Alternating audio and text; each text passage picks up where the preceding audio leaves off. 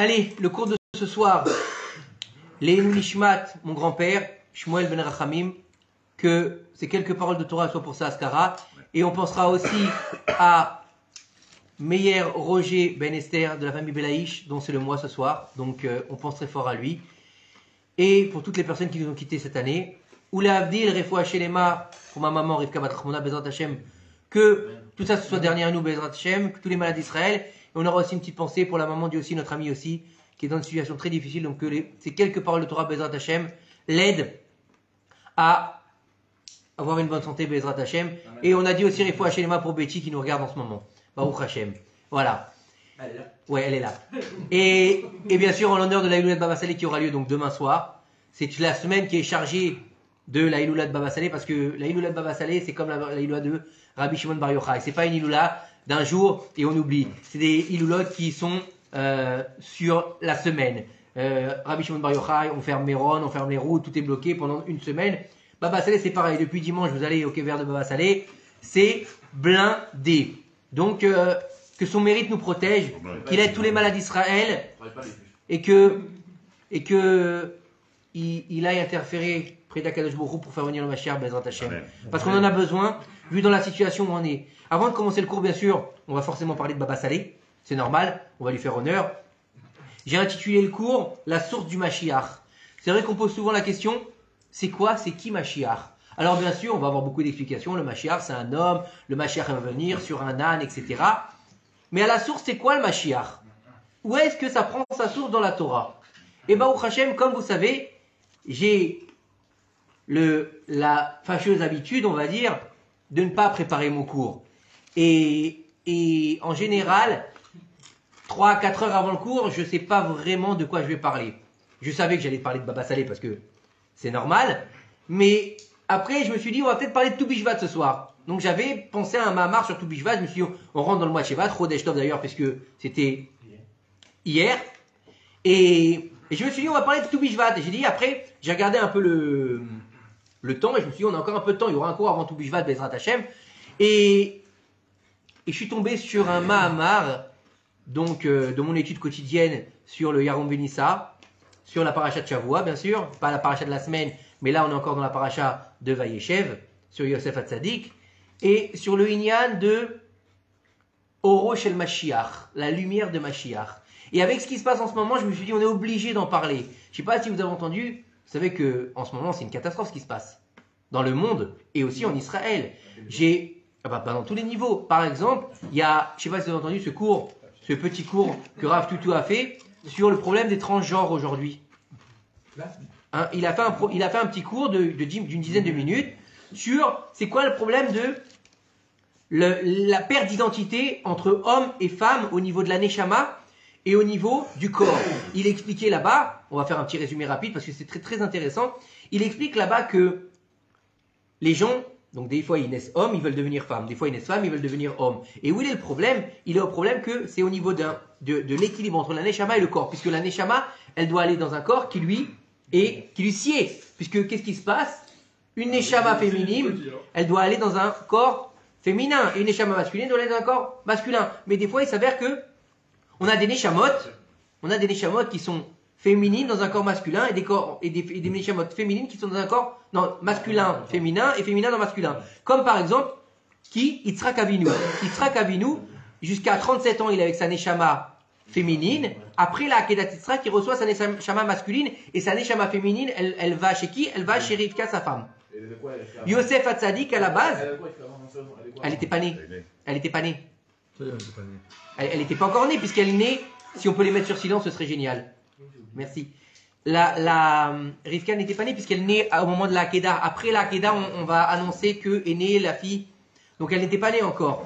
Maintenant, par exemple, Yosef Hatzadik, à la base, lorsque Léa et Rachel sont enceintes en même temps, c'est Léa qui doit avoir un garçon et Rachel qui doit avoir une fille. Mais Léa va prier pour que Rachel ait un garçon pour qu'elle ait le nombre au moins deux tribus. D'accord? Donc elle demande à Kadosh Baruch Hu de lui donner une fille. Donc comme elle a demandé à Kadosh Baruch Hu le djinn, je t'en prie, juge-moi pour avoir une fille. Donc il l'a appelée Dina.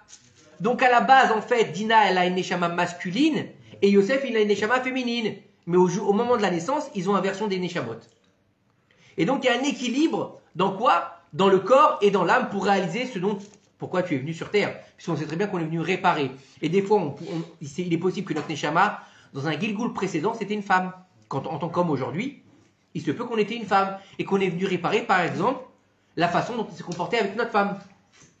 Et il se peut qu'une femme c'était un homme, elle est venue réparer la souffrance que cet homme a causé à une femme, etc., etc.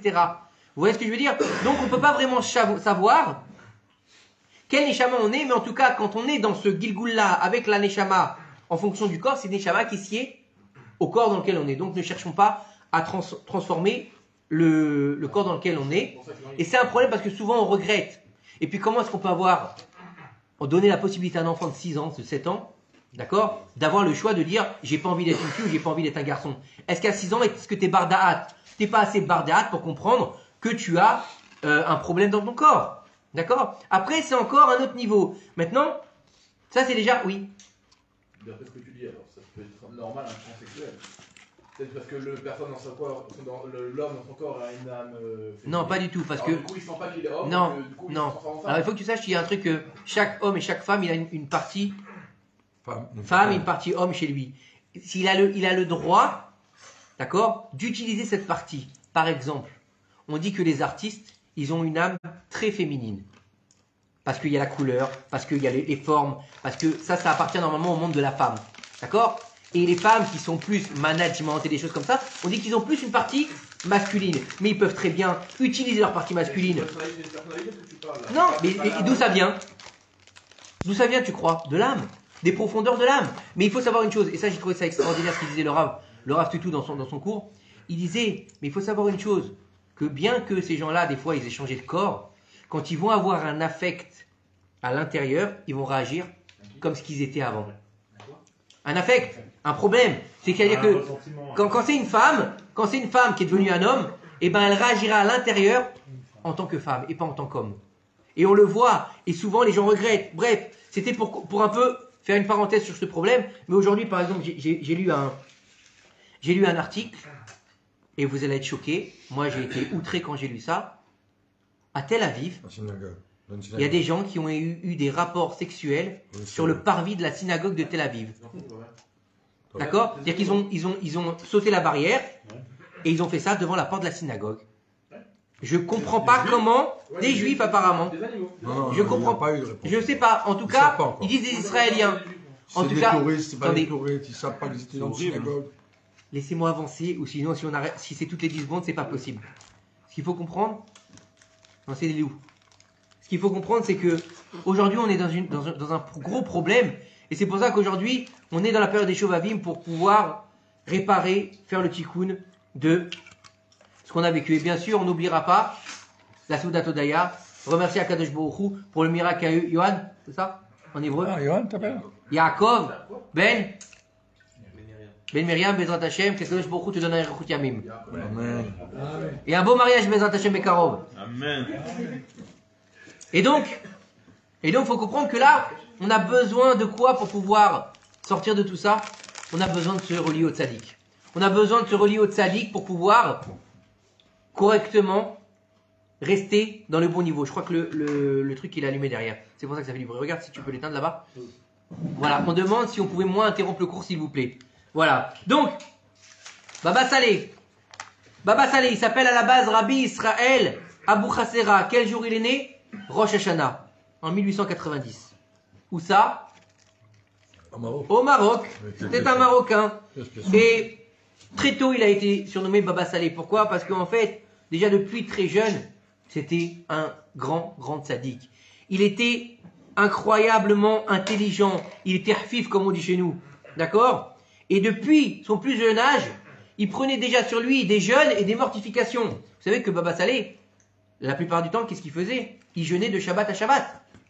Il jeûnait de Shabbat à Shabbat. Moi, je me rappelle de- de- d'avoir entendu qu'un jour, sa deuxième femme, parce qu'il a été marié deux fois, sa deuxième femme, elle lui avait préparé un plat. Et donc, elle lui a amené pour qu'il mange. Et dès qu'il l'a goûté, d'accord, il a goûté un tout petit peu, il a repoussé l'assiette. Alors sa femme, la rabbinite, elle lui dit Qu'est-ce qu'il y a? C'est pas bon. C'est pas assez chaud, c'est pas assez salé, c'est pas assez sucré, c'est pas. Il manque euh, des épices. Vous savez ce qu'il lui a dit, Baba Salé Regardez la grandeur de l'homme. Il lui a dit non, pas du tout, c'est c'est tellement bon que j'ai peur de manger. Bété Avon, que je vais manger pour, se- pour assouvir mon âme animale. On parle de baba salé, hein, encore une fois. hein. Ouais. Toi, quand tu tapes le burger, tu dis Je vais assouvir mon âme animale. Et deux fois même. Et, et donc, il faut savoir que il a eu une jeunesse assez difficile, Baba Salé. Pourquoi? Il faut savoir qu'il avait un grand frère qui était un sadique qui est sodolam. Il s'appelait Rabbi David Abou Khassera, puisque c'est la famille Abou Khassera. Hein. Il s'appelait pas Baba Salé, hein. il s'appelait Rabbi Israël Abou Khassera. Il faut savoir que son frère Rabbi David, il a été exécuté par les autorités du Maroc. Il a été tué. Mamache tué. Et ça a fait un grand gamme à Baba Salé pendant des, des- des- des semaines, il est resté dans ou des mois même, il est resté dans un mutisme très difficile. Je crois que ça a duré même un an, ça a duré. Il est resté dans un mutisme, si je me rappelle bien de l'histoire, euh, jusqu'à que son frère il vienne en rêve le voir. Il lui dit maintenant c'est le moment d'arrêter le deuil. Il lui dit regarde comment je suis. Il est habillé tout de blanc, il avait une grande lumière autour de lui. Et il lui a dit maintenant c'est le moment d'arrêter le deuil. Bref, en 1964 il quitte le Maroc pour venir où? En Israël. En, 60 en 1970 il s'installe à Netivot où il restera jusqu'à la fin de sa vie. D'accord? Et bien sûr, des millions de personnes venaient le voir pour recevoir des bénédictions, pour y prendre un petit peu d'arak. Hein Et bien sûr, on compte plus le nombre de miracles que Baba Saleh a fait. D'accord? Entre le soldat qui pouvait plus marcher, qui a, vous, vous la connaissez pas cette histoire? Il est venu nous voir sur un fauteuil roulant. C'est pas lourd, hein Il est sorti de chez Baba Saleh en courant. En courant. D'accord? Entre le, le, cette fameuse histoire euh, où il y a trois jeunes gens qui le viennent le voir, d'accord? Et un, il lui dit Sors de chez moi Va-t'en Sors Sors Il comprend pas le jeune. Ces deux, il le fait rentrer. Trois potes, hein Le, le, il fait rentrer. Et le troisième, il lui crie dessus Sors Sors Oui, il s'en va. Il revient dix minutes après. Je t'ai dit de sortir Sors Je veux pas te voir Sors d'ici Le jeune, il comprend pas. Maintenant, ils repartent après. Bon, il dit J'ai pas pu voir Baba Sali, il est dégoûté, mais qu'est-ce que tu veux faire? Il n'y a, pas- le parfait. Ils ont un accident de voiture, Laura allez-nous. Laura allez-nous, hein. Un truc, euh, laurallenou.com. D'accord? Truc de fou. Il sort, il a rien. Il a rien. Il revient chez Baba Salé. Baba Salé lui dit, il dit Rentre mon fils. Mais il comprend pas. Il lui dit quand, quand tout à l'heure tu es venu et que je te dis sors, va-t'en, je veux pas te voir, c'est pas à toi que je parlais. C'est parce qu'au-dessus de ta tête il y avait le malach et je voulais qu'il sorte de chez moi. Et en te faisant la honte, puisque tu es sorti, tu as eu honte, quelqu'un qui est, à qui on fait la honte, on dit qu'il est comme, il est, il est comme mort. Donc étant donné que tu es mort ici, le malach Hamavet il a pas pu te prendre. Donc en fait il lui a sauvé la vie. Quoi? Eh c'est Baba Salé hein. C'est pas Baba Oram hein on va raconter une histoire justement pour faire honneur à Baba Saleh, parce qu'on dit que celui qui parle du Tzadik, le jour de Saïloula ou bien dans la semaine de Saïloula en général, c'est une grande source de bénédiction. Vous savez ça ou pas? C'est pour ça qu'il est important d'allumer une bougie pour le Tzadik, que ce soit Baba Saleh ou là. Ce soir, c'est la Iloula de Rabbi Mishulam et Anipoli. Donc que son mérite nous protège aussi. D'accord? Il faut savoir que les Tzadikim, même, même quand ils sont partis de ce monde, ils ont une très grande force. Donc d'aller prier le Tzadik pour qu'il intercède à Kadosh Baruch c'est très bien. Mais encore une fois, tu pries pas le Tzadik pour qu'il te fasse un miracle. D'accord? Le Tzadik, il n'est pas là pour faire de la magie. Tu vas pas voir le Tzadik en lui disant Exauce-moi, fais-moi gagner au loto, fais-moi avoir un bébé. Non, s'il te plaît, est-ce que tu peux aller demander au maître du monde de m'aider à avoir une meilleure situ- situation financière, de m'aider à avoir un enfant, d'accord? Même s'il faisait des miracles. J'ai lu, une- histoire qu'il y a un Rosh Shiva, il lui a dit Écoute, Baba Saleh, est-ce que tu peux m'aider? J'ai un gros problème. Baba Saleh ou Rav Kadouri Non, Rav Kadouri. Il a été les voir, il dit Fais-moi, un- aide-moi, ma yeshiva est dans une situation dramatique, aide-moi à gagner au loto. Et le type, il a gagné au loto. Vous imaginez le niveau des rabbins C'est des rabbinim Mais bon, si c'est pour gagner au loto pour aller après euh, dans des clubs, c'est pas. D'accord Il y a un rap comme ça, tu peux aller voir YouTube? Ouais. Rave, euh, Rave Facebook. Alors, faut savoir qu'il y a quelques années de ça, il y avait un homme qui vivait à Jérusalem. Et 15 ans de mariage, pas d'enfant. Walou. La semaine dernière, il y a une femme, après 34 ans d'attente, elle a donné naissance à son premier bébé Wow. à, Brak ou à Jérusalem, ici en Israël. Magnifique. 34 ans d'attente. Et en bonne santé, Baruch Hashem. Et elle? Elle, elle va bien. Elle est contente. Il avait été voir tous les spécialistes, tous les médecins possibles et inimaginables, d'accord?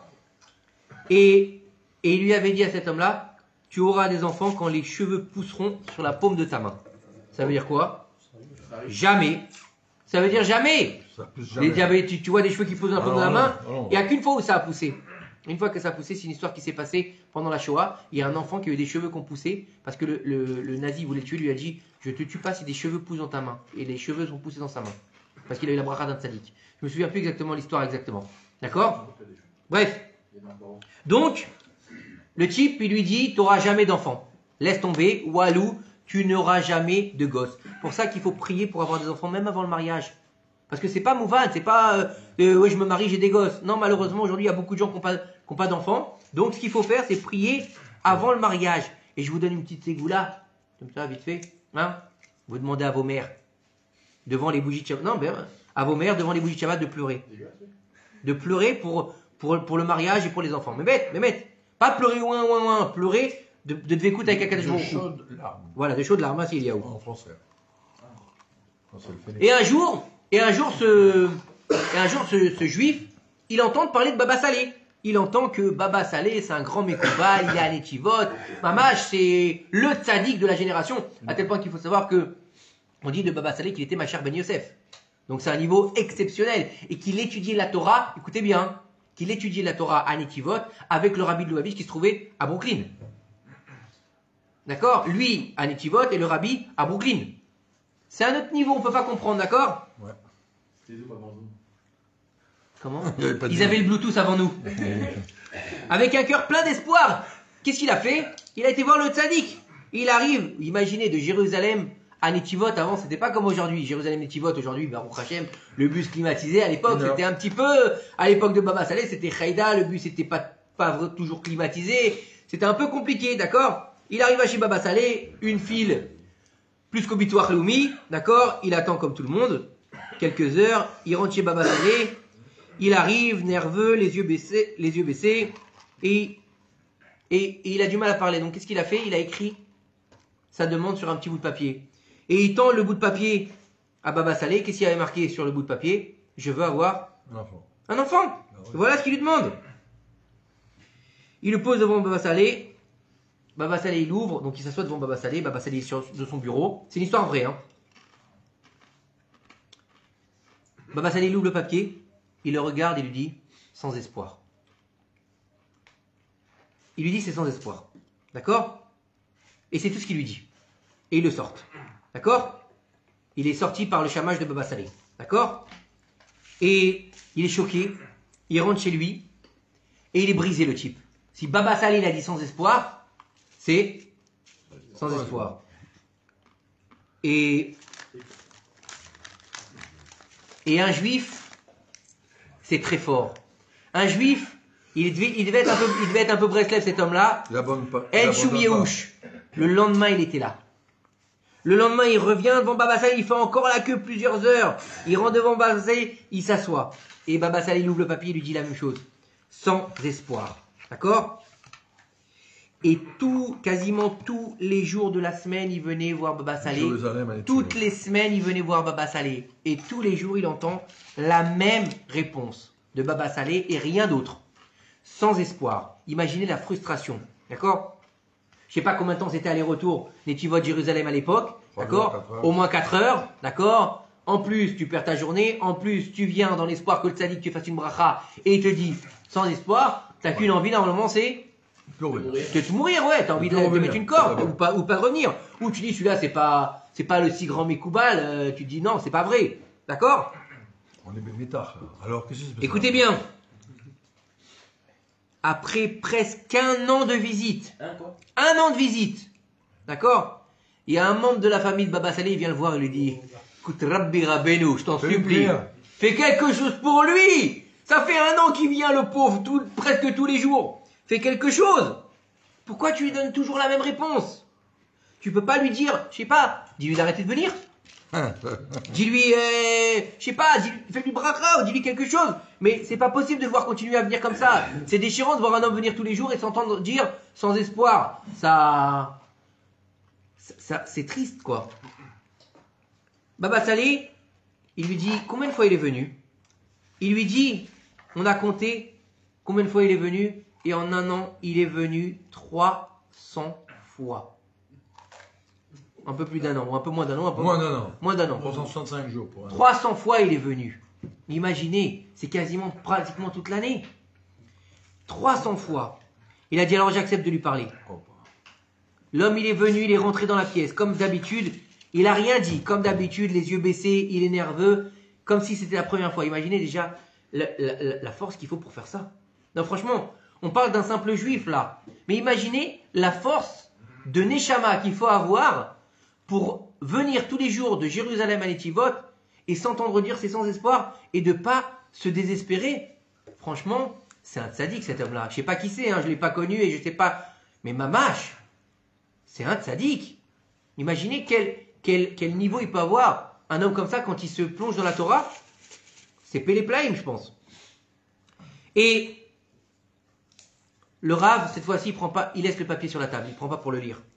Il lui dit Écoute, mon fils, tu viens me voir tous les jours depuis très longtemps. Pourquoi j'ai choisi cette histoire? J'ai plusieurs histoires sur le Salé. Celle-là, je l'ai écrite et, et elle va sortir, si tu veux, dans le, dans le tome 2 de, de Imre Noam, ou tome 3, je sais plus, puisqu'il y a les deux tomes qui sont en préparation. J'écris, j'écris, deux, j'écris deux livres. J'ai écrit deux livres Baruch Hashem, des, des, des enseignements du Rav Yoram, et là on est en, en post-impression, donc euh, Bezrat Hashem. Ça fera un 3. Bezrat Hashem, merci. Et il lui dit Pourquoi tu viens me voir? Tous les jours depuis si longtemps, je t'ai dit c'est sans espoir. Rentre chez toi, pourquoi est-ce que tu insistes autant? Pourquoi tu insistes? Il lui dit Baba Saleh, il lui dit gentiment. Je t'ai dit depuis 300 fois, c'est sans espoir, pourquoi tu reviens? Et là, l'homme il regarde Baba Saleh dans les yeux et lui dit Écoute bien, je viens à vous tous les jours et je continuerai à venir vous voir tous les jours parce que je crois au pouvoir de vos prières. Et je sais qu'Hachem les écoute et que vous êtes le seul au monde qui puisse m'aider. C'est pas énorme D'accord? C'est une émouna. Moi, moi, moi j'appelle ça tmimout. Moi, j'appelle ça la tmimout. C'est tu crois en parole des tzadikim quoi qu'il arrive. Même et ça, ça doit donner, ça, doit donner un, ça doit donner un, comment dire, de la force aux gens qui disent souvent quoi Je prie et Dieu m'écoute pas.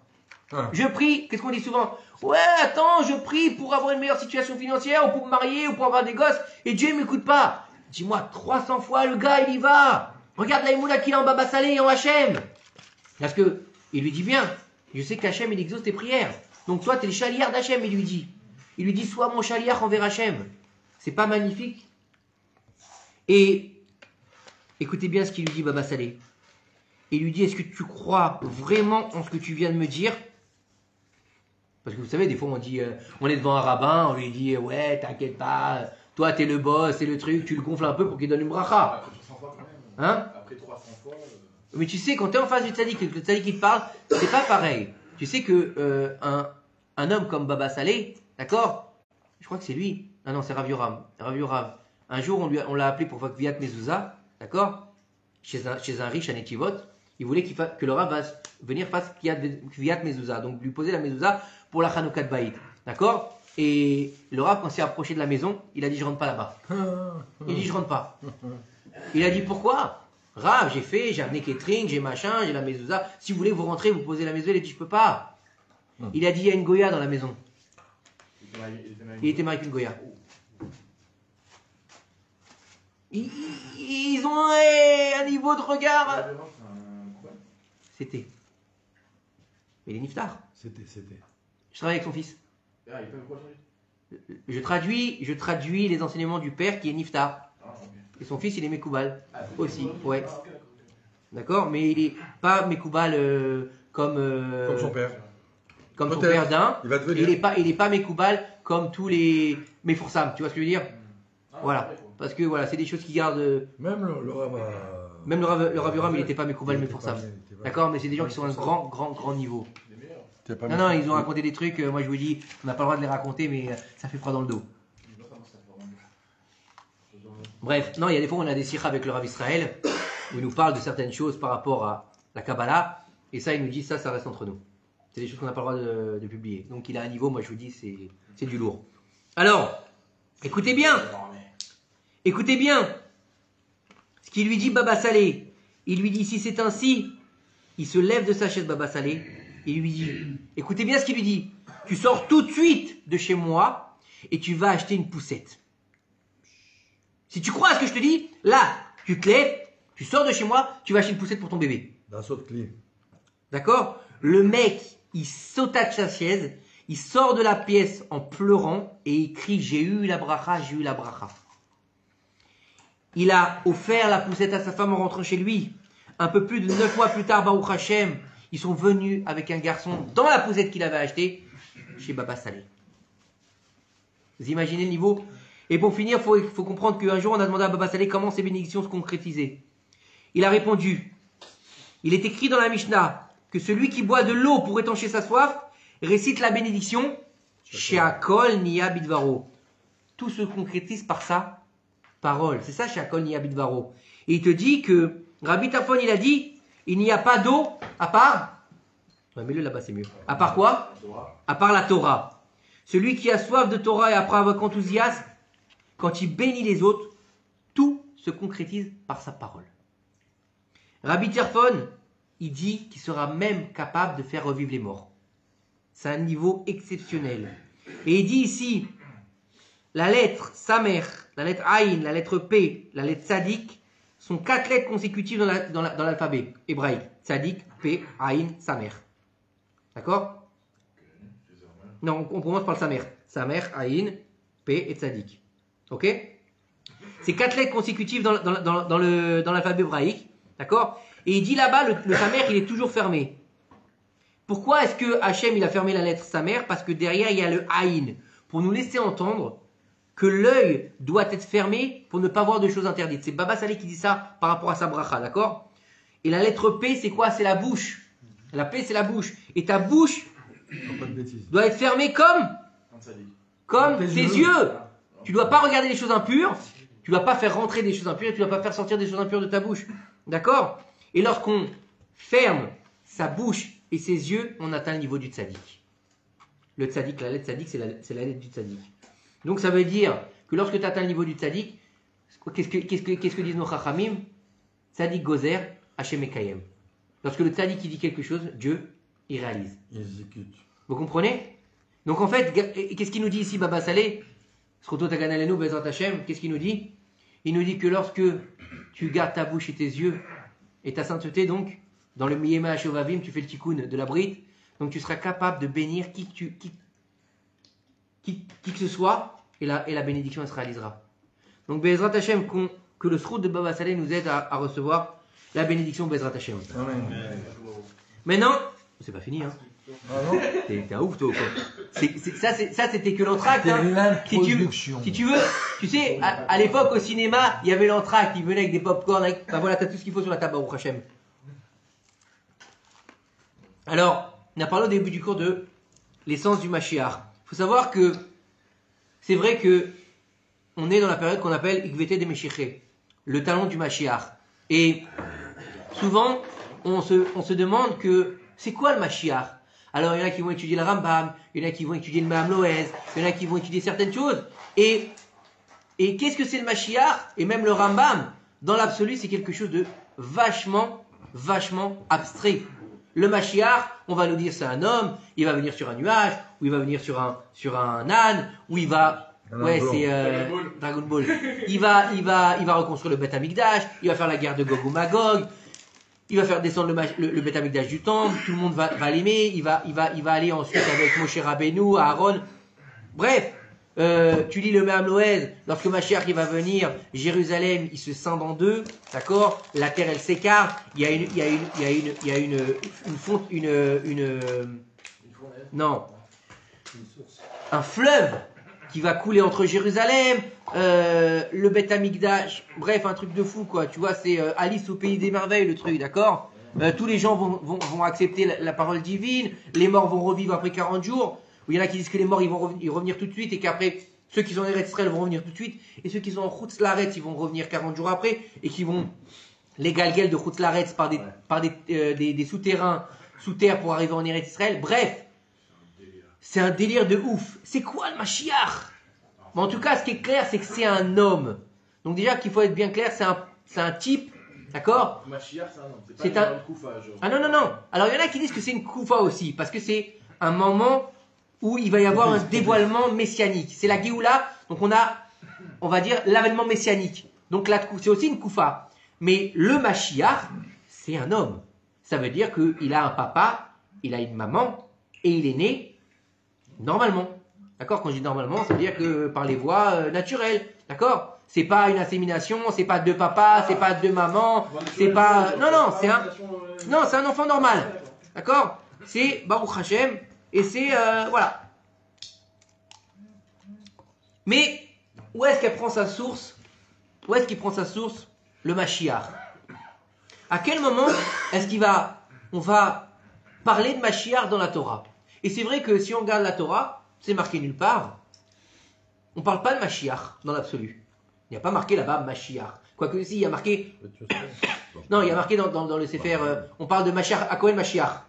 À Cohen à Mashiach. Ah, donc À Cohen à Mashiach, on parle de ça.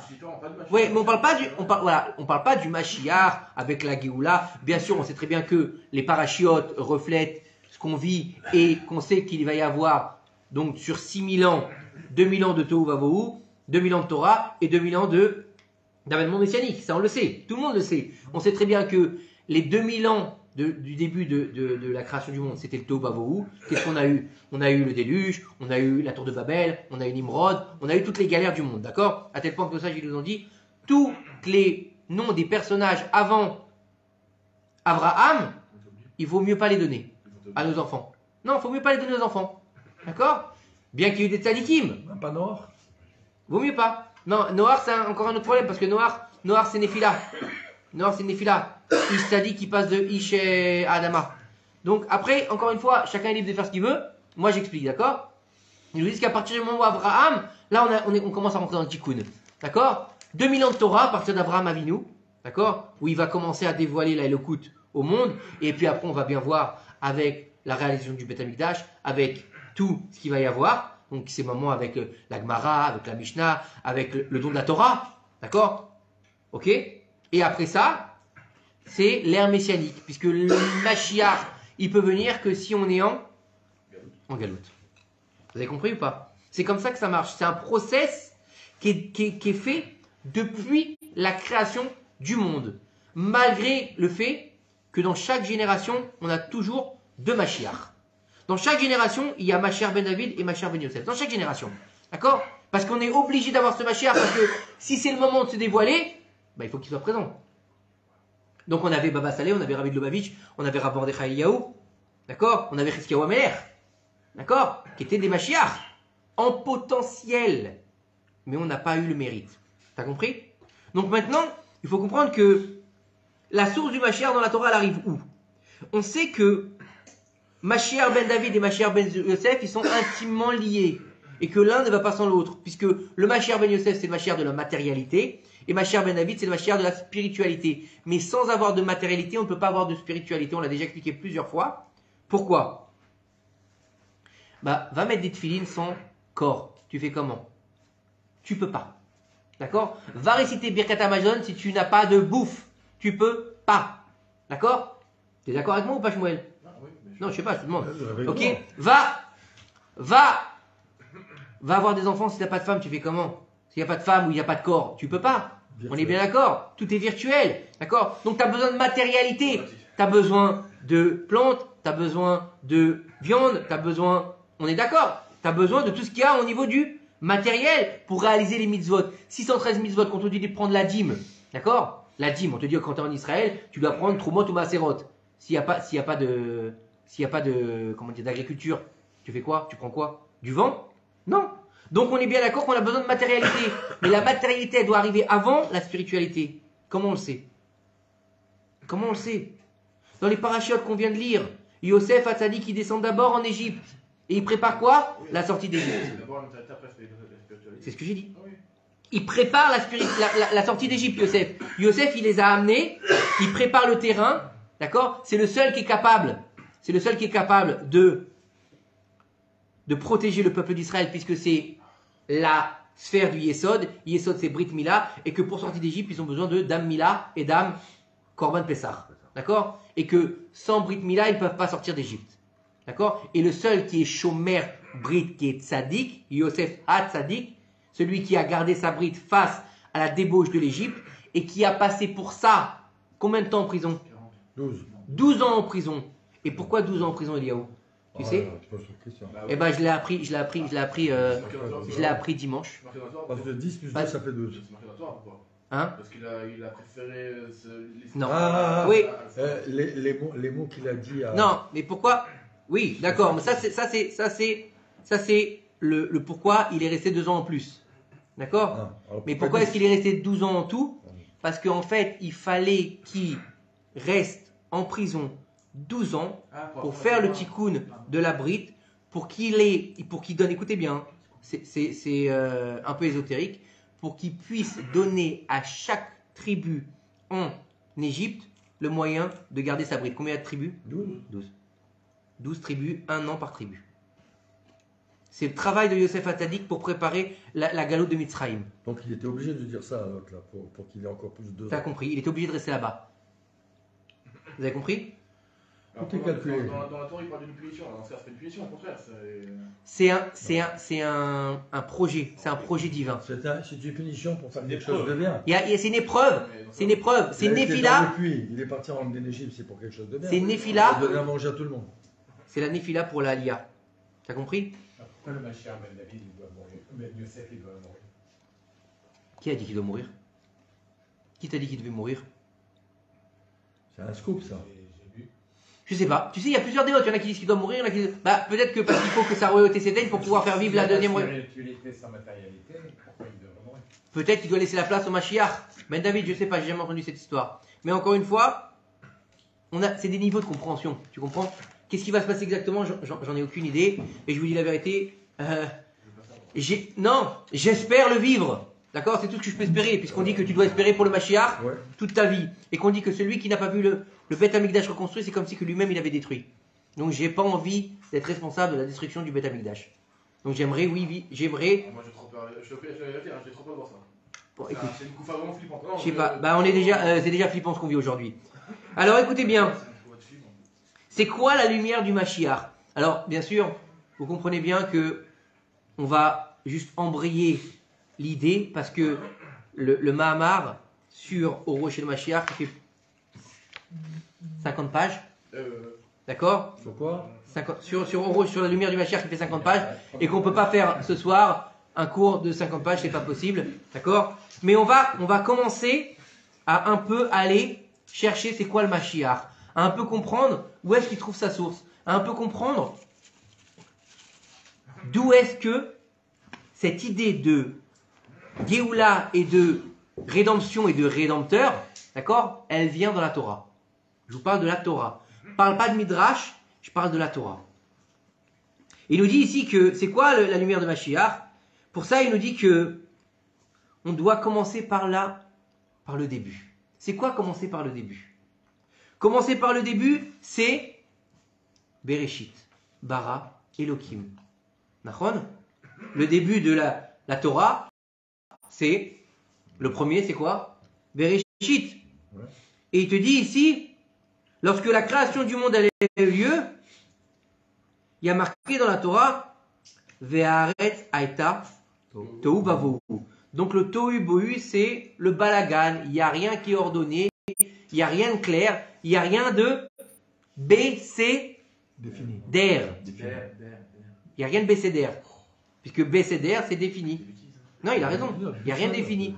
Le CDR, c'est de remettre les choses à leur place. C'est pour ça que la nuit du CDR, c'est la nuit qui remet de l'ordre dans le monde. C'est pour ça que ça s'appelle l'El Shimurim. Et qu'on n'a pas besoin de fermer les ports. Et qu'il n'y a pas de Mazikim ce soir-là. Pourquoi? Parce que Dieu, il remet le monde à son niveau de euh, réalisation.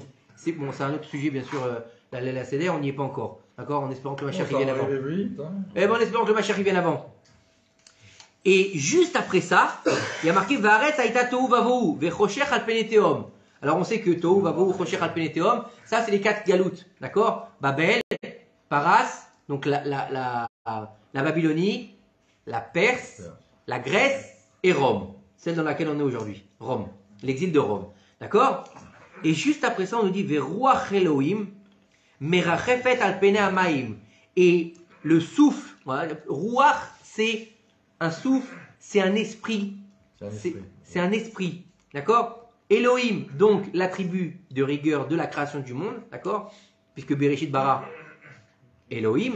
D'accord? C'est pas Elohim qui a créé le monde. C'est le monde qui a créé D'accord? C'est pas Bereshit, c'est pas, c'est pas Elohim qui a créé le monde. Non, c'est Dieu au commencement de la création du monde. Il a mis en place l'attribut de Elohim pour créer le monde. Pourquoi? Parce que l'attribut de Elohim, contrairement à Yud Kevavke, c'est l'attribut qui est dans la nature. Comme on l'a vu avec qui? Dans la paracha au cours de qu'on a, qu'on a fait chez Shabbat. Elohim, c'est la nature. Yud Kevavke, c'est hors la nature. D'accord? C'est pour ça que Paro, quand il lui dit Hachem, donc Yud Kevavke, il m'a envoyé libérer les Bnei Israël, Il Pharaon, il dit, je le connais pas Hachem. Moi, je connais que Elohim. Elohim, c'est quoi? C'est tout ce qui se passe dans la nature. Le soleil il se lève, le soleil il se couche, ça pousse, ça pousse pas. C'est la nature. D'accord? Donc on nous dit, Elohim il était au-dessus de l'eau. Et le Midrash, il nous dit ça. Il y a le coup de Shimoni, Bereshit. Veruach Elohim merachefet, c'est le Ruocho de Mashiach. C'est l'esprit de Mashiach. Donc ça veut dire que déjà à la création du monde, l'esprit, donc la, l'essence même du Mashiach, elle existait, pas seulement qu'elle existait, elle a précédé la création du monde. Comme tu vois. Exactement. Comme la Torah, comme la Tchouva. D'accord? Et il nous dit, et juste après ça, qu'est-ce qui, se passe dans le Passouk Vahi Hor. Et ce fut la lumière. Ça veut dire que le roi de Mashiach, l'esprit du Mashiach, il a une telle force qu'il est capable de faire le gilouï. C'est quoi le gilouï C'est le dévoilement. C'est quoi le Mashiach? C'est quoi le Mashiach? C'est le Mashiach qui vient, ça y est, tout le monde il est beau, tout le monde il est gentil, on vit comme des schtroumpfs? Non, c'est pas ça le Mashiach. Non, ça c'est dans tes films. Ah. D'accord? Vaï, c'est quelque chose de bien. Et non. Ve'aya, c'est quelque chose de bien. Vaï. Ah, ah, Zloto. Bah, oui, parce que, non, parce que c'est Oraganus qui a dû cacher jusqu'à jusqu'à la délivrance finale. Ah, D'accord? Mais il nous dit ici que, en fait, c'est quoi le Mashiach? C'est Giloui Shrina. C'est-à-dire quoi Giloui Shrina? D'accord? Ça veut dire qu'aujourd'hui, depuis qu'on est en galoute, la Shrina aussi elle est en galoute. D'accord? Aujourd'hui, Dieu il est éloigné entre guillemets de nous. D'accord? Mais à partir du moment où c'est pas palpable, vous êtes d'accord? Dieu est pas palpable, tu ressens pas, à part, on va dire, un moment de être Hatson, mais tu ressens pas Dieu. Alors que là-bas, en fait, à partir du moment où il y aura le galouille, le gilouille de Dieu, le dévoilement divin, tu ressentiras Dieu au jour le jour et à chaque instant. Tu auras le dévoilement divin qui t'habitera tout le temps. Ça veut dire que tu vivras, tu vivras dans le divin. Aujourd'hui, tu vis dans l'humain, dans l'humain, pardon, et à l'époque du Mashiach, en fait, tu vivras dans le divin. C'est ça la différence. C'est pas, euh, il va y avoir des tapis volants, il va y avoir des bagnoles qui volent et des robots qui vont nous servir et tous les Arabes, ils vont nous, ils vont être nos serviteurs. Ça, faut arrêter le délire, je veux dire. Ça, c'est, euh, ça, c'est, euh, c'est bien pour le cinquième élément, je sais pas, ou pour autre chose. Sixième élément. le élément. Sixième élément faut arrêter. Chacun, il trouvera- chacun, il prendra sa place. Chacun- Chacun, il prendra sa place. Chacun, il a une raison d'exister. Les non-juifs, les nations du monde, elles ont une raison d'exister. Faut pas penser, faut, faut surtout pas penser que c'est quoi le Mashiach, c'est, tu sais quoi, le juif, ça va être le boss, il va être assis, dans une chaise longue, d'accord, avec euh, euh, des nations du monde autour de lui, en train de lui amener à bouffer, à boire, lui faire les ongles, lui faire des massages. Et arrêtez de rêver. Moi. D'accord Bah fais-toi rembourser alors parce que ça n'a rien à voir avec ça, le Mashiach. Il- Chacun prendra sa place comme dans une armée. Il y a la tête et il y a les différents euh, Légions. Et c'est exactement pareil. Chacun, il aura les différentes troupes. D'accord? Il y a le Ménaël dans une société et il y a le, le responsable de ça, le responsable de ça, le responsable de ça, et les employés. Et chacun, il a son niveau. C'est exactement ça, le Mashiach. Sauf qu'il a la tête. Non. Sauf que c'est la Torah qui, Ah, qui dirige le monde. D'accord? Ils reconnaîtront, ils reconnaîtront la grandeur d'Hachem. C'est pour ça que le rabbi de Lubavitch, Livracha, il avait dit qu'une des choses les plus importantes pour faire venir la Géoula, écoutez bien, vous allez être peut-être surpris si vous ne savez pas, c'est d'apprendre aux nations du monde les sept lois de Noach. De, de diffuser au monde entier les sept lois noachites. Pourquoi? Parce que c'est les lois qui régissent le monde vis-à-vis d'Akadosh Baruch pour les nations du monde, pas pour Israël. Israël, il y a 613 mitzvot. Mais que, en fait, tu as la capacité que dans ces 7 mitzvot de Noir, Oui, donc qui sont de ne pas tuer, de, de ne pas faire d'abodazara, de ne pas manger euh, de d'animal vivant, etc. D'accord? C'est de respecter Akadosh Baruch Hu. Mais dans le niveau des nations du monde. Est-ce que c'est suffisant pour un juif? Non, puisqu'il a 613 mitzvot. Est-ce que si c'est suffisant pour un non-juif? Oui. Il a que cette loi. S'il est fait, il s'appelle Tzadik Beumot Haolam. Il n'y avait pas l'Amérique avant aussi. Comment? Il n'y avait pas l'Amérique avant. Parce que ne pas tuer en Amérique. Bon, écoute, j'en sais rien. Moi, je. J'ai pas été aux États-Unis. tous les jours là-bas les tuer. Bah, ils ont chacun au moins deux fleurs. Ah, Et donc, Sans permis. il nous dit que la force de, de l'esprit du Mashiach, c'est la force de dévoilement. C'est de dévoiler la lumière divine dans tous les mondes. Et même les plus éloignés. Et c'est la possibilité de faire le tikkun de, pour pouvoir faire passer tous les gammes. Et de, en fait, faire quoi? Puisque vous savez que le- monde entier, il est tombé dans la faute, après la faute originelle. Et en fait, c'est le tikkun de tout le monde entier, aussi bien de tous êtres vivants, puisque les animaux aussi ont été touchés par la faute originelle, sauf le Poisson. Ah, le, le, le Chol, le phénix. Le phénix, il a refusé de manger du Etada Tovara. Le phénix, c'est le seul. Tous les, tous les animaux. Tous les animaux, ils ont mangé. Chava a donné à tous les animaux à Le manger. serpent aussi Et tous les animaux. non, le serpent il été maudit. Et donc, et donc tous les animaux, ils ont mangé du Etzadat Tovara, sauf le Chol. Et, le- et le Midrash nous dit que c'est un oiseau qui vit mille ans. Et tous les mille ans, il se consume. C'est mamash, c'est mamash la métaphore du phénix. Dans Harry Potter, ce qu'il y a. D'accord. Harry Potter. On voit les références que tu as. Harry Potter. Bah, Il y a le c'est eux qui nous. D'accord. Bref. Un J'avais entendu Harry que. Qui c'est qui m'a dit que Harry Potter, tous- tous les nocés de, de Harry Potter, ils sont tirés de la cabale Ah bah c'est, c'est- samedi on m'a dit ça. Samedi on m'a dit ça. Virginie là m'a dit ça. Euh, Star Wars aussi. Bref, ouais, bah Star Wars aussi, eh, le côté obscur de la force, c'est la Touma contre la Gdoucha, d'accord? L'autre il est habillé en blanc, l'autre il est habillé en noir, l'autre il a des cornes, l'autre il est tout beau, il est tout blanc, l'autre il a trois boules sur la tête. L'écran il est trop beau. En, en rouge là. Ouais, il va falloir qu'on change tes références. hein. Te calmer. Hein Mais mets une photo de, de Rav Ovadia dans ta chambre au lieu de Dark. Alors on continue. Et donc, il vient faire le tikkun du monde. Alors je disais, oui, le chol, tous les mille ans, il s'autoconsume, d'accord? Il est brûlé et il renaît de ses cendres. Comme ça, il dit le Midrash. Il refait un œuf de ses cendres, il renaît, il revit mille ans et il se reconsume. Depuis la nuit des temps. C'est le la- l'histoire du phénix. C'est dans la Torah. Ça vient d'où tout ça? La Torah. J'avais entendu une fois, je sais plus si c'était Garaf qui disait que les dragons, d'où est-ce que ça vient? Des Shédim. Hein Voilà. Et que tout le. Hein? Les, les, les, démons. Les démons. Et que, et que tous les nians qu'on voit dans la mythologie et dans les contes, comme les sirènes. Non, ça existe, vient de la Torah. Ça existe les sirènes. Ouais, mais les sirènes, elles sont pas Ariel. Hein. Elles sont pas Ariel. Hein. Non, elles sont carnivores. Elles sont carnivores, ouais. J'ai fait, j'ai fait, j'ai fait euh, les le- Nuishmat. Pépé, je parle à mon père. Pour ça. Les sirènes, oui, elles sont moches, hideuses, elles ont des grandes dents, elles crient très fort, elles chantent très fort pour attirer les bateaux et après elles bouffent les mecs. D'accord C'est magnifique. Donc Ariel, laissez tomber Ariel, la petite sirène, celle-là, elle n'a jamais existé. Bon, tu me laisses finir Ah.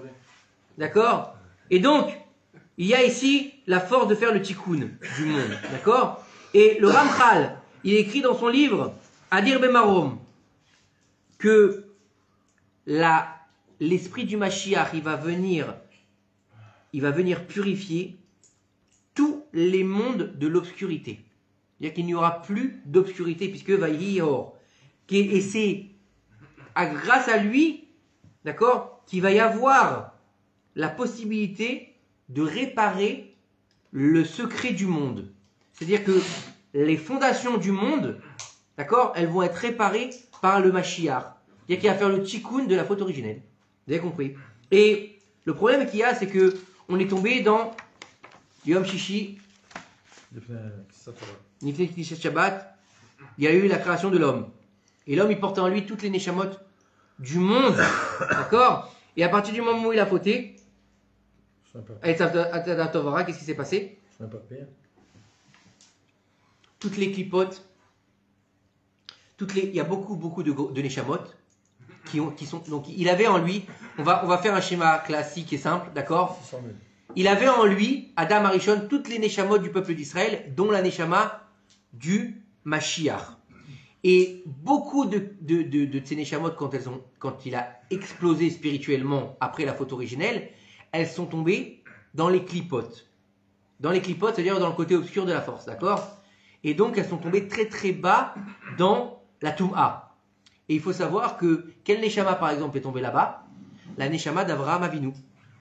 La Neshama de qui encore? Tout le monde en fait. non, non, non, non. J'ai dit des grandes Neshamot, elles sont tombées là-bas. D'accord? Des grandes Neshamot. Si tu veux des grandes Neshamot, Alvaï que je sois une grande Neshama comme Abraham Avinu. Alvaï. D'accord? Neshama de qui encore? Hein. David Ameller. ah, David Ameller, le Mashiach. Et il faut savoir qu'à partir du moment où elles sont tombées, la lumière divine, elle a disparu. Donc en fait, il y a eu une obscurité qui s'est qui s'est produite en fait. Et en fait, maintenant, en fait, il y a eu 2000 ans de Tohu. Il y a eu 2000 ans donc d'obscurité. Et le, le monde, il était dans un Inyan où on ne pouvait pas faire son tikkun. Puisque si la Neshama du Mashiach, elle est tombée, où ça? Dans les clipotes. Si les clipotes, elles retiennent la Neshama du Mashiach, qu'est-ce qui va se passer? Le monde, il est dans le rocher. Donc il peut pas y avoir de tikkun. Donc c'est pour ça que le monde, il est divisé en trois. Et le premier, et le premier tiers, comme ça on dit? Le premier tiers, c'est quoi? Tohu. Tohu, ça veut dire c'est l'obscurité. On l'a bien vu. Regardez le Sefer Bereshit. En quelle, vous savez en quelle année a été donnée la Torah? 2448 depuis la création du monde. D'accord Avant, qu'est-ce qu'on a On a Adam Arishon. D'accord Avec donc la faute originelle. Puis après la faute originelle, on a Caïn et Evel. D'accord Après Caïn et Evel, on va avoir quoi on va avoir les générations qui vont toutes se dévoyer. On va avoir, le, le- on va avoir la création de l'idolâtrie. D'accord Avec le petit-fils d'Adam Arishon, qui, qui va créer l'idolâtrie. D'accord Oui, oui. Bah oui, il s'a- il s'appelait... euh, Le petit-fils de Damas. Ouais, je sais plus comment il s'appelait. J'ai un trou de mémoire, je, te- je, je regarderai. D'accord Euh, Le petit-fils Arishon qui va créer l'idolâtrie. D'accord Parce qu'à la base, il, il va dire, s'il faut servir Dieu, eh ben peut-être qu'il serait bien de servir ses ses ministres pour lui rendre hommage. Donc on va rendre hommage au ciel pour au ciel par exemple ou, au soleil pour qu'ils rendent eux grâce à Akadosh Baruch Hu. Mais très vite, on a rendu grâce aux ministres et plus à Dieu. Donc on a adoré le soleil, la lune, les étoiles, les arbres, les pierres. Je sais pas comment on fait pour adorer une pierre, faut être un peu bête quand même, je sais pas, je sais pas, j'ai du mal à j'ai du mal à concevoir ça d'ad- d'adorer une pierre. Bah, Excuse-moi, hein, je préfère adorer une pierre que d'avoir euh, faire mes excréments devant une statue. hein. Ouais, c'est aussi dégueulasse. je, je suis désolé, je préfère la pierre. Hein. à choisir. Bref, et, et, et quand est-ce qu'il va commencer le travail de la source du Mashiach? Il va commencer avec les Avot Akdoshim. À partir du moment où les Avot Akdoshim ils vont arriver sur le monde, on va voir la brisure de la clipa qui va commencer. Mais il faut savoir que, et, on va finir sur ça par rapport aujourd'hui, par rapport à la source du Mashiach, parce que c'est, après je veux pas que ce soit trop long, et que c'est un, un pan très très important. Écoutez bien. Le premier des patriarches, d'accord Il s'appelle comment? Hein? Il s'appelle Abraham Avinu. Et on sait que les Avot Akdoshim, c'était quoi? C'était des, gens saints- des gens saints. C'était des gens qui recherchaient la vérité, dévoiler la Elokut, de rapprocher les gens, de montrer aussi ce que c'est le divin, d'accord? Créer les bases d'une croyance en Akadosh Baruch Hu, tout simplement, d'accord? Mais il faut savoir que il y a eu 2000 ans de Tohu pour faire naître Abraham Avinu. Et on a dit que la Neshama d'Abraham Avinu, elle était tombée où? Dans la Klippa. Et vous allez comprendre le travail qui se passe au niveau de la Milchama, la guerre qu'il y a entre le côté obscur de la force et le côté de... euh, comment on dit le côté. Les Jedi Lumineux. lumineux de la force. D'accord? Donc entre la, Ktouma et la Kdusha. Écoutez bien, c'est formidable. D'accord? Abraham, à Ivry, on l'a appelé, celui qui était Méhéver, qui était en face de tout le monde, d'accord? C'est-à-dire, il était seul et tout le monde contre lui. Seul envers et contre tout. C'est comme ça qu'on dit en français? Ouais, Bah, C'est beau hein, quand même, hein, t'as vu? Film. Pas mal, hein Il y a un film comme ça. C'est des classiques, hein. Ben qu'est-ce que tu crois? Et le monde entier, il était dans la Kfira. Le monde entier, il faisait de la Avodazara à l'époque d'Abraham Avinu. D'accord? Et lui, il a vécu sa Emouna. D'accord? Mais lui, Abraham Avinu, il pouvait pas se contenter d'une Emouna personnelle. Abraham, il a, Abraham dit, si on veut faire venir le Mashiach, il faut qu'on soit tous. Je peux pas faire venir le Mashiach tout seul. On l'a déjà expliqué. Il faut qu'on ait une union. Et il faut qu'on ait quoi? On l'a dit la semaine dernière un peuple. Et on a besoin d'un peuple et d'une terre. Et Abraham, il sait que tout seul, il peut pas faire venir de Mashiach, d'accord? Donc c'est pour ça qu'il va commencer à dévoiler Or à Elohim Baolam. Et il va faire revenir les gens à la Teshuvah. Comme on avait dit dans la paracha, École à Neshamot, Shuasa, Becharal. C'est quoi? C'est un- le premier qui va commencer à faire des conversions. Abraham Avinu. Elle était où Sarah à ce moment-là, juste pour savoir? Elle habite où? Non, elle était où à ce moment-là, Sarah? À quel moment? À ce moment d'Abraham, à cette époque-là Attends, il n'est pas encore né là.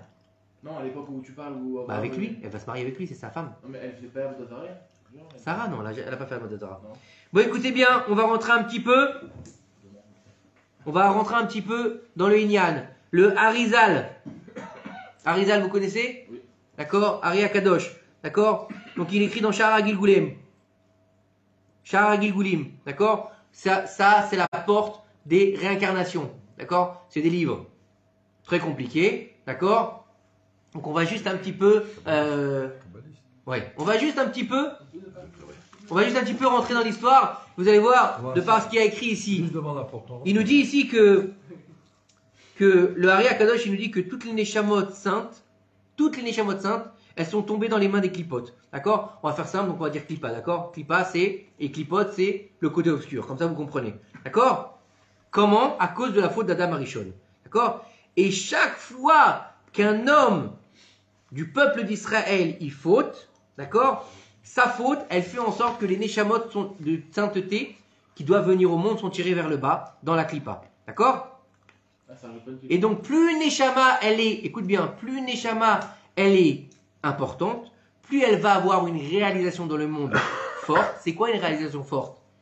D'accord? C'est pas qu'il va devenir président ou c'est pas qu'il va avoir une grande usine, c'est que quelqu'un qui va être important au niveau de la Torah, comme Rabbi Shimon Bar Yochai, comme Rabbi Meir Bananes, comme Moshe Rabbeinu. C'est des Neshamot qui sont exceptionnels, comme le Harizal, comme le, euh, le Ramchal. C'est des Neshamot exceptionnels qui ont une réalisation sur terre qu'on peut même pas comprendre. Puisque par exemple, comme le Rabbi Shimon Bar Yochai, il a dévoilé les Zohar sur terre. C'était jusque-là, il n'y avait pas, il y avait pas de Torah cachée, il y avait que de la Torah dévoilée. Donc imaginez le niveau. Donc il tombe dans les clipotes. La clipote, elle en veut pas. Elle veut pas que ça sorte d'elle. Pourquoi elle veut pas que ça sorte? Parce que chaque sadi qui sort de la clipa, qu'est-ce qu'il fait? Il met de la Il lumière. se bat contre la clipa. Donc il, il casse la clipa. Donc plus il casse la clipa, plus elle est bréchée. Et plus elle est bréchée, plus elle est en train de se détruire. Et le Mashiach, il viendra pour détruire la clipa. Complètement. C'est ça le Inyan. Le dévoilement de la Elokut, c'est la fin de la clipa. C'est ça le Inyan. Alors écoutez bien. Et on a un très fort Inyan. Il faut savoir que. Écoutez bien. Et donc, elles sont obligées à un moment donné, ces clipotes, de libérer chez Neshamot. À un moment donné, il y a, on ne peut plus les retenir. Mais elles vont trouver un moyen de les faire sortir dans la Toum'a. C'est-à-dire qu'au lieu de les, les laisser sortir et de leur donner un sort de libre arbitre, elles vont faire en sorte que ces Neshamot-là vont être dirigés dans la Toum'a.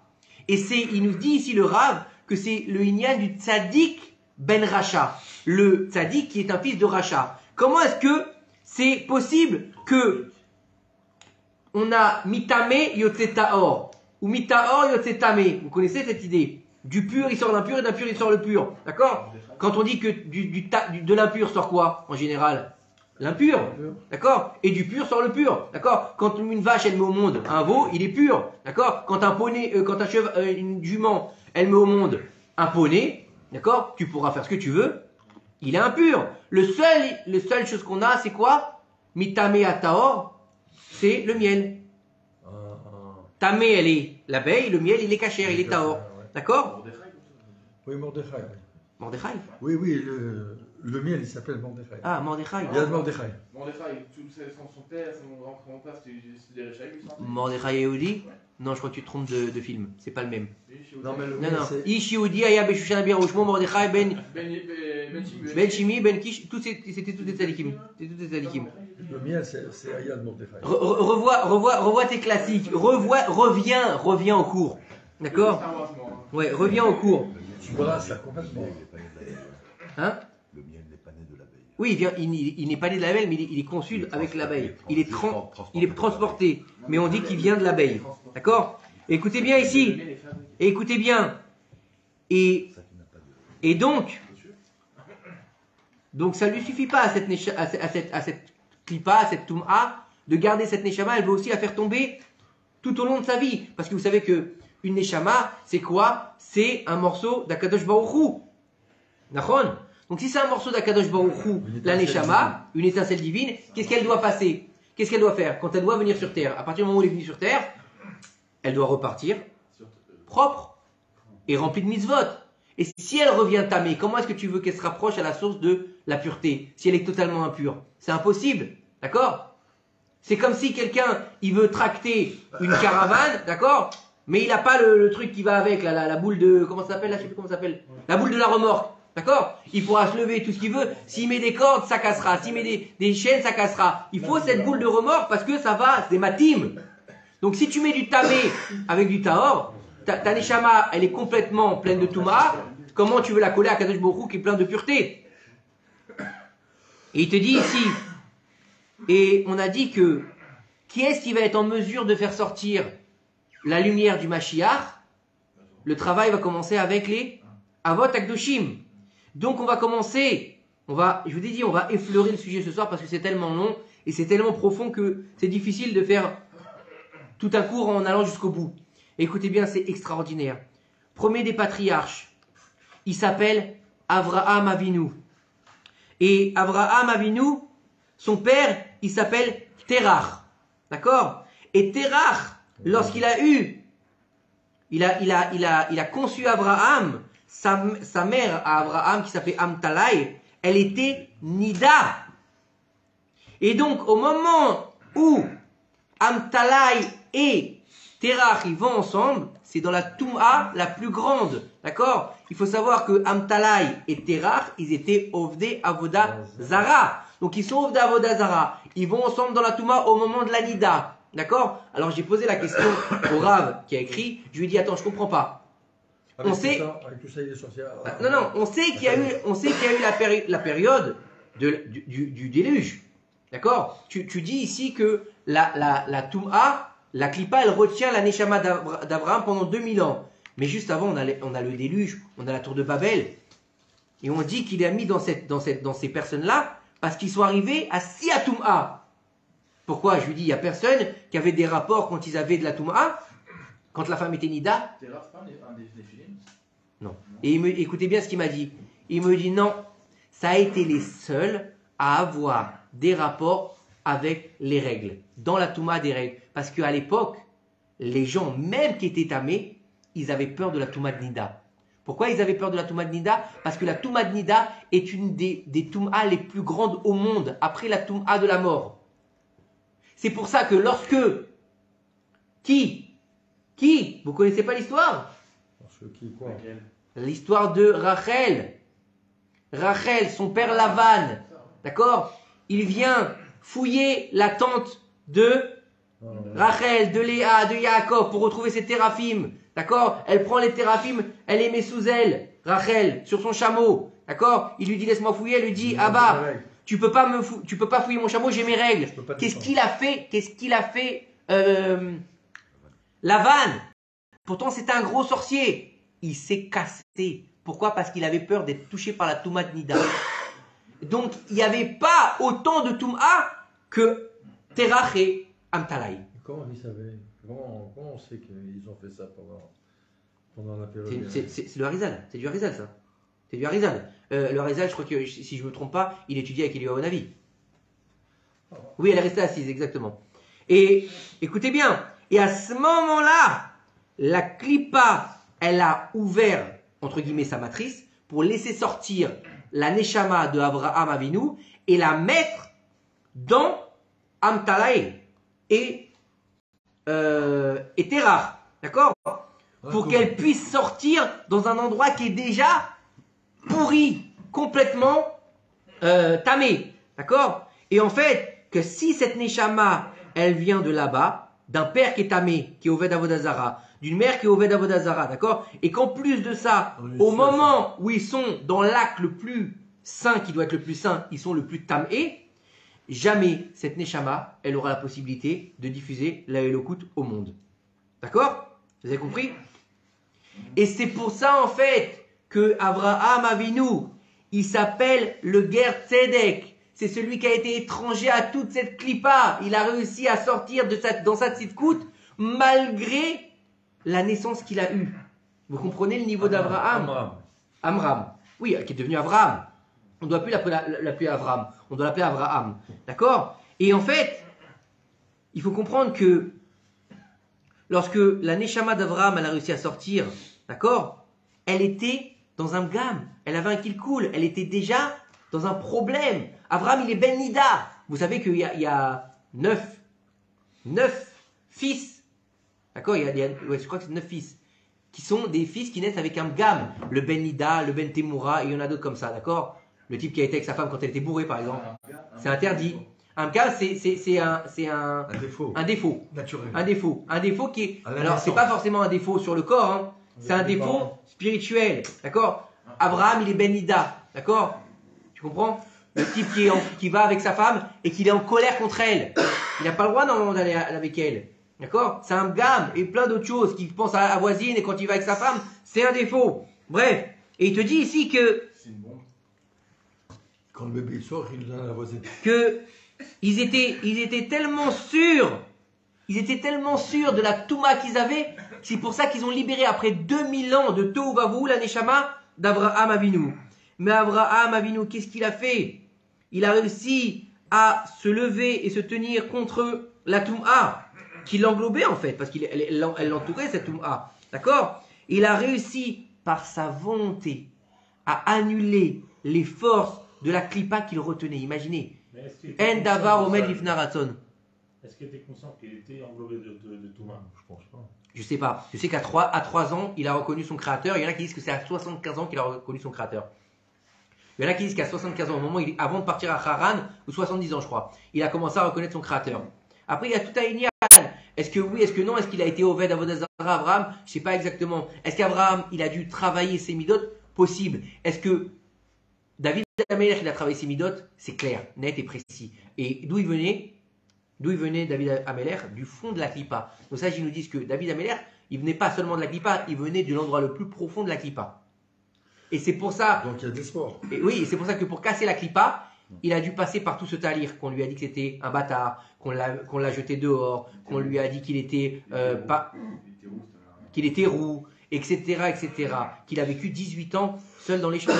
Il faut comprendre. Pourquoi? Pour casser les clipotes et le faire devenir Melech HaMashiach. Mais bien sûr qu'il y a de l'espoir. Même, même dans la clipa, il y a de l'espoir. Il faut savoir, il a réussi donc d'annuler toute cette clipa jusqu'à qu'il a réussi, écoutez bien le niveau d'Abraham, il a réussi à devenir le premier pied de la Merkava d'Akadosh Baruch Hu. C'est-à-dire qu'il est devenu un des socles du char d'Akadosh Baruch Hu. Alors qu'il vient de la clipa. Et, et non seulement il a réussi à combattre la clipa pour lui-même, d'accord, il a cassé sa propre clipa pour devenir le premier des patriarches, mais en plus de ça, il a imprégné le peuple d'Israël de ce combat qu'il est capable de, faire contre la clipa. Vous imaginez le niveau? Ça veut dire que il a réussi, puisque il faut savoir qu'il s'est quand même levé contre le monde entier, Abraham. Abraham est ivri, il était contre les autres. Nimrod, il l'a jeté dans une fournaise ardente. Nimrod, il lui a dit, deviens Oved Avodazara et je te laisse tranquille, tu, je vais faire de toi mon bras droit. Il lui a dit, il lui a dit, jette-moi dans le feu, mais je me prosternerai pas devant ton Dieu. Franchement, il avait tout pour être le prince du monde, vous savez ou pas ça? Il était déjà prince, qu'est-ce qu'ils lui ont dit? Les, les... Qu'est-ce qu'ils lui ont dit quand il a voulu enterrer sa femme? À Hebron Il lui a dit, tu es un Nassi. Nassi Betochenou, tu es un prince parmi nous. Il, a, il était à un niveau Abraham exceptionnel. Et d'où il vient de la clipa? Pourquoi il vient de la clipa? Parce que l'essence de Mashiach, elle vient de Rocher al homme. Vous avez compris ou pas? Le début du Mahamar, on ne peut pas continuer parce que ça va être trop long sinon. Mais comprenez que l'essence du Mashiach, elle commence avec la création du monde. Elle se perd après la faute originelle. Elle se perd après la faute originelle. Où ça? Dans les clipotes. Pourquoi? Parce qu'elle a, été, elle est tombée là-bas. Et les clipotes, en fait, c'est quoi? C'est tirer vers le bas. C'est-à-dire faire la descente pour pas faire la lumière, c'est-à-dire le rocher. C'est-à-dire qu'on va, on va être dans un niveau où on va empêcher la lumière de se dévoiler. Comme où ça? En Égypte. En Égypte. On a empêché la lumière de se dévoiler. Où ça encore? On a empêché la lumière de se dévoiler. Plus près de nous. Pendant la Shoah. Pendant la Shoah. Regardez tout le ta'alir qu'il y a eu pendant la Shoah à Roura. C'est le même ta'alir que l'Égypte. Exactement. Allez voir, vous pouvez faire des similitudes, je l'ai déjà fait. C'est incroyable. C'est faire le rocher pour éteindre la lumière des Israël. Et en fait, on va voir ici que Abraham, il est le premier à commencer la brisure de la clipa pour faire venir la lumière du Mashiach. Et on va pas pouvoir finir, mais juste pour vous faire comprendre quelque chose, un petit peu au niveau de, du Mashiach. On va avancer vers Abraham, d'accord? Abraham qui va avoir deux enfants, Yitzhak et Ishmaël, d'accord? De Yitzhak et Ishmaël, on va voir ce qu'on appelle le birour. Le birour, c'est quoi? C'est le tri. Pourquoi on a besoin du tri? Pour, pour transcender les étincelles divines qui se trouvent dans la clipa, pour les faire sortir au monde. D'accord? Donc on va voir Abraham, il va voir Ishmaël qui est l'obsolète. D'accord? Donc c'est le rejet. On va voir Yitzhak qui devient son fils. Par, ta, par, par sera ta descendance, il lui a dit Nachon. Yaakov, il a deux enfants. Euh, Yitzhak, il a deux enfants. Yaakov et Esav. D'accord Le. Exactement. Le birour, Esav, il est sonné. Hachem, il le déteste. Il lui dit, celui-là, j'en veux pas. Sors-le-moi. Il avait la capacité d'être plus grand que Yaakov, Esav. Plus grand que Yaakov. Ça devait être le quatrième des patriarches. Il a été remplacé par qui Par Yosef. Par Yosef. Par Yosef, puisque le, quatrième, des, le quatrième des bergers, c'est Yosef Hatzadik. Au niveau des pères. C'est un père qui devient, c'est un fils qui devient un père. Pas le père et le fils et le Saint-Esprit. Hein. Je parlais pas de ça. Coupé, coupé. Non mais parce qu'il est un peu, je me moque. Ah Celui-là, il s'appelle, euh, celui-là il a été crucifié. Ah, tu parles du père d'un père, du. du... Je sais plus, c'est un père. Abraham, un père, alors, écoute. Toi, Je vais- tu vas prendre deux paires. Je vais juste faire, je vais juste faire une petite parenthèse. Tu vas comprendre, Shmuel. Il y a un niveau qui s'appelle Avot. Il y a les Avot, Abraham, Yitzhak, Yaakov. À partir des Avot, on va voir les Banim, Béné Israël. Béné Israël, c'est pas un peuple à la base, c'est des enfants, les enfants d'Israël. Les enfants d'Israël, c'est qui C'est les douze tribus. C'est les douze tribus, d'accord Qui sont les fils de Yaakov. Donc on a les Avot qui sont les pères, et on a les Israël qui sont les fils. Mais dans ces fils-là, il va y en avoir un qui s'appelle Yosef. Yosef qui est le fils de Yaakov. Donc c'est un fils, tu es d'accord avec moi Sauf que Yaakov va lui dire dans la paracha Vayechi, avant de mourir, et tes enfants à toi, Yosef, Ephraim et Ménaché, Yiouli, ils seront à moi, qu'est Ephraim, euh, qu'est qu'est Reuven et Shimon. Ils seront à moi comme Reuven et Shimon. Ça veut dire que il va élever Ephraim et Ménaché, qui sont les enfants de Yosef, ses petits-enfants, au niveau de Reuven et Shimon. Donc ils appartiennent à qui Israël. ils appartiennent à Israël. Donc ils deviennent des tribus à part entière. Qui est-ce qui leur a donné naissance Yosef Hatzadik. Donc il a le rôle de père de tribu. Donc il devient père. T'as compris C'est un peu confus ou ça va Ah, Ça va trop vite Réécoute le cours. Et maintenant, donc il faut comprendre que à partir du moment où on va avoir, écoute-moi, on va avoir, on va finir là-dessus, Bezrat Hashem, écoute-moi. On va avoir donc Abraham, Yitzhak Yaakov qui sont les pères, qui vont donner naissance à des fils. 12 tribus. Dans ces 12 tribus, on va y avoir deux protagonistes. Parce qu'on ne peut pas tout faire aujourd'hui pour aller jusqu'au bout des 50 pages. Écoute-moi. Dans ces tribus, on va avoir un enfant qui va malheureusement perdre le droit d'aînesse, la royauté et la kiuna, et la, et la, et la prêtrise. Il s'appelle Reuven, lorsqu'il a déplacé la couche de son père, lorsque Rachel elle est morte. D'accord? Pourquoi il a fait ça? Parce qu'il pensait que son père ne devait pas aller dans la tente de la servante, alors qu'il parce qu'il n'avait pas compris que Yaakov Avinu ne dormait pas où il voulait quand ça lui plaisait, ou pas parce qu'elle était plus belle, ou parce qu'elle était plus sympathique. La, la meuf, non, pas du tout. Il dormait où se trouvait la Shekhinah au-dessus de son lit. D'accord? Donc il a vu la Shekhinah là-bas, il l'a mis là-bas. Bref, donc Réhouven, dans cette action, C'est pour ça qu'il va lui dire, avant de mourir, tu as été impétueux comme l'eau. Parce que pourquoi comme l'eau? Parce que l'eau, c'est le sens, parce qu'il y a quatre sens. Et sur les quatre sens, c'est les yesodes de l'être humain qui sont en rapport avec des gammes. Et l'eau, c'est tout le gamme qui en le gamme, c'est le défaut qui est en rapport avec quoi? Avec la débauche, avec la sexualité. Et qu'est-ce qu'il a fait? Il a déplacé la couche de son père. Et la couche de son père, donc c'est quoi? Les rapports. D'accord? Donc il lui a dit tu as été impétueux comme L'eau. par rapport à la débauche que tu pensais qu'il y avait de moi. D'accord? Donc là tu perds ta keuna, tu restes le Bechor au niveau des tribus, mais tu perds la malchoute, tu perds donc la royauté, tu perds la prêtrise et tu perds la la Bechora. Et on dit que la Malchoute, elle, est, elle a été donnée à Yehuda, d'accord, il est devenu roi de ses- sur ses frères. La Keuna, elle a été donnée à Lévi, d'accord, puisque le premier sera de la tribu de Lévi, Aaron, fils de Amram, Amram. fils de et fils de Lévi, d'accord, donc à la tribu de Lévi, d'accord, on remonte à la tribu de Lévi qui va recevoir la prêtrise. Et la Bechora, elle revient en fait de droit à qui? À Yosef. Mais en fait, elle re, elle, elle revient pas de droit à Yosef. En fait, il réintègre sa place, en fait, Yosef. Pourquoi est-ce qu'il réintègre sa place? Parce que normalement, à la base, Yaakov, il se marie normalement avec qui Avec Rachel. Et de Rachel, il doit être Yosef. Donc son premier-né devait être qui Yosef. Yosef. Donc, et, et- et la, dans la Kabbalah, elle est marquée que la Marshava, la, la- la première semence qu'il a sortie, c'était la semence qui a donné naissance à Réhouven. Mais la marshava, puisque la, la semence elle se trouve dans la marshava, dans la pensée, la pensée première c'était d'avoir un enfant avec qui Avec Rachel. Donc son, son, dans la pensée, son premier-né c'est Yosef. Il s'est fait Donc il réintègre en fait sa place de premier-né. Et donc dans ces douze tribus, on va avoir la Malchut et la Keuna et la Bechora qui vont être, donc Bechor c'est le premier.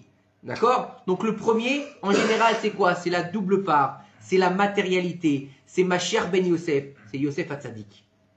Et lorsque Yosef il descend en, Égypte, et lorsque Yosef descend en Égypte après avoir été vendu par ses frères, d'accord?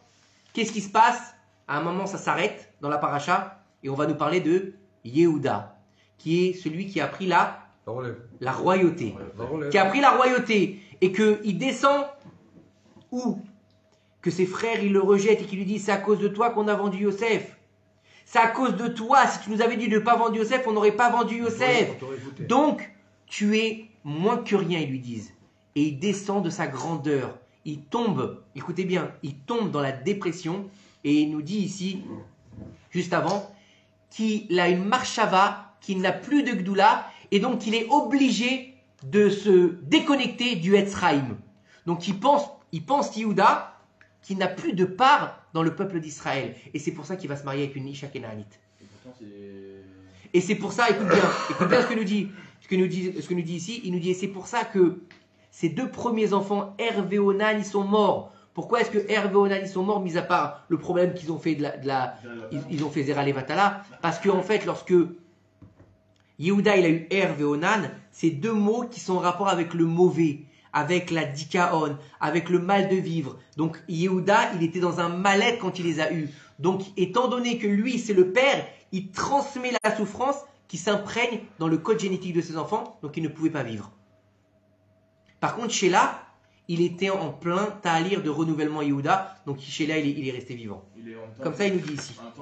C'est euh, pas grave, il n'est pas, il est pas mort à cause, à cause de Tamar. Ils sont morts parce que, en fait, l'essence de Yehuda, elle était dans la mort. Parce qu'il était déconnecté du Etzraïm. Si tu es déconnecté du Etzraïm, tu peux pas vivre. Vous comprenez le niveau? Donc en fait, et de Yehuda et Tamar naîtra donc Ishaï et naîtra David. Et à partir de Abraham, donc naîtra Yehuda. Donc on va avoir Mashiach ben David, Mashiach ben Yosef. Et puis on, on continuera le tas à lire, si Dieu veut, dans un prochain cours, pour arriver avec tout le Inyan de Lot, de Abraham, de Yehuda, jusqu'à arriver Ruth, Boaz et le Mashiach avec David Ameler. Voilà. Donc ça, c'est l'histoire de la source du Mashiach. C'est un début de cours, c'est pas possible de développer plus le Inyan, mais vous comprenez maintenant où est-ce qu'elle va chercher sa source. Le Mashiach, le Mashiach va chercher sa source avant la création du monde. Donc c'est quelque chose qui maintient en fait la vitalité de notre monde dans lequel on vit. Donc est-ce qu'il faut croire au Mashiach? Bah si tu crois pas au Mashiach, tu peux pas croire à la création du monde. Puisque l'essence du Mashiach, Ruach, Merachefet Alpena Maïm. C'est Maïm, c'est quoi? C'est la Torah. C'est l'eau, c'est la vie. Donc la vie, elle dépend aussi de quoi? De est-ce que tu crois à la Géoula? Est-ce que tu crois qu'il y a une finalité dans le, le, le, le Gilouï d'Akadosh C'est ça la Géoula, c'est de refaire venir la, la Shrina sur terre. Naaselo dira betartonim. Le but de la création du monde, il faut le comprendre une bonne fois pour toutes, c'est qu'Akadosh Baruch Hu, il est une maison ici sur terre. Baruch Adonai Amen Amen.